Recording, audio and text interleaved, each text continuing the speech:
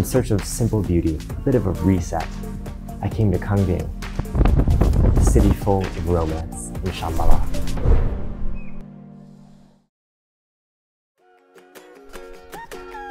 Beautiful mountains and rivers and magnificent scenery made me feel Shambhala personally in my bones and made me want to travel every inch of China.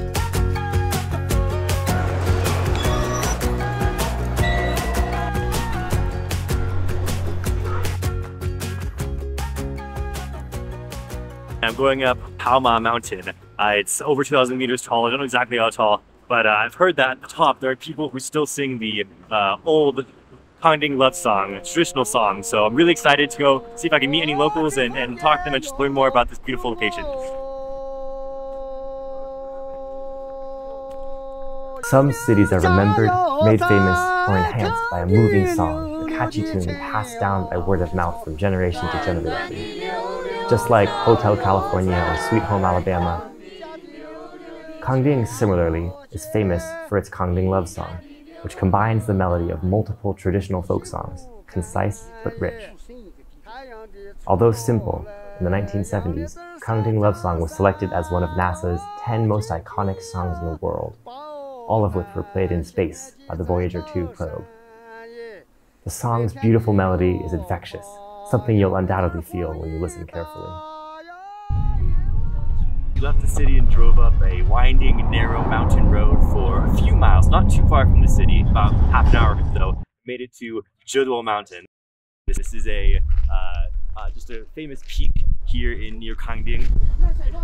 Look at some of these flags, see if we can see a little bit of the text up in person.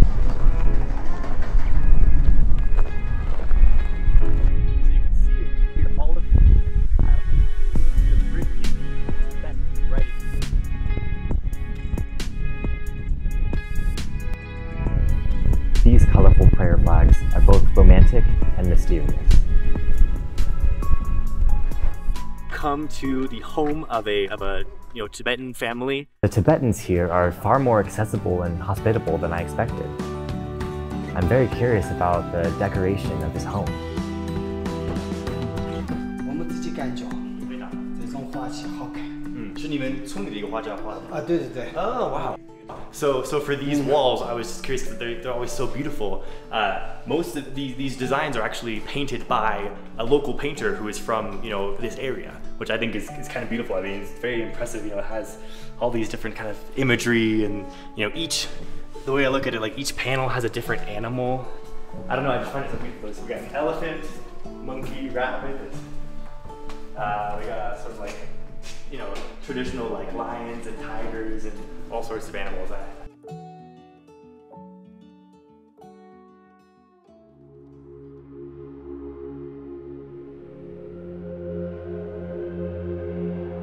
My trip to Kangding has come to an end. I came to Yuzixi,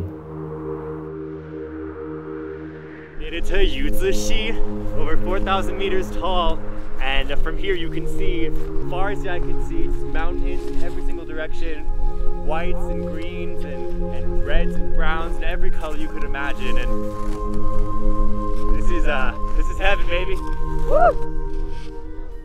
Perhaps I never lost my way. So I walk in the snow, unaware exactly where I am or where north might be. Just being present in the moment is enough. I think I still feel it in my heart. There's a tall lighthouse guiding me. Now it's time for me to find my next location to share more stories with you all. Goodbye, everyone.